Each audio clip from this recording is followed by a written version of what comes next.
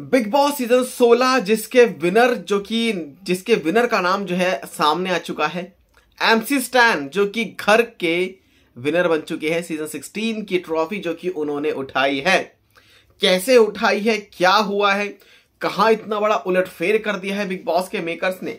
आपको बताते हैं कि टॉप थ्री में थे एमसी स्टैन शिव ठाकरे और प्रियंका चहर चौधरी, जहाँ पर सबके माइंड में एक ही नाम था। प्रियंका चहर चौधरी जो कि विनर बननी है। फ़र्स्ट रनर अप होंगे Shiv Thakare second runner up होने वाले हैं एमसी स्टैन लेकिन यहाँ पर आपको बताते हैं, एक बहुत बड़ी चीज़ हुई है, बहुत बड़ा उलटफेर हुआ है।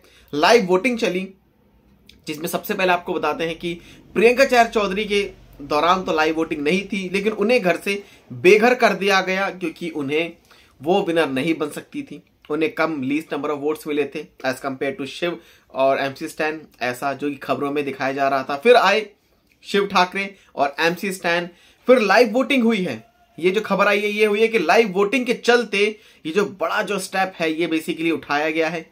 और लाइव वोटिंग में शिव ठाकरे को कम नंबर ऑफ़ वोट्स मिले हैं। वहीं एमसी स्टैन की जो फ़ैन फॉलोइंग है, उन्होंने परसेंटेज जो है, जो बढ़ा दी है और उन्हें घर का विजेता घोषित कर दिया है। तो सीज़न 16 की जो ट्रॉफी है, वो उठाई है।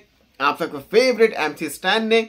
हालाँकि आपको बताते हैं कि जैसे प्रियंका चहर चौधरी जो कि घर से बेघर हुई थी और एक तरह से घर से वो एविट हुई, लेकिन यहाँ पर आपको बताते हैं कि जब नाम सामने आया कि जब लोगों ने सोशल मीडिया पर ये बातें जो है करनी शुरू कर दी क्या एमसी स्टैन जो कि, क्या एमसी स्टैन से एमसी स्टैन ज़्यादा डिजर्व करते हैं। प्रियंका चहर चौधरी से टॉप थ्री रहने टॉप थ्री में यानी टॉप टू में।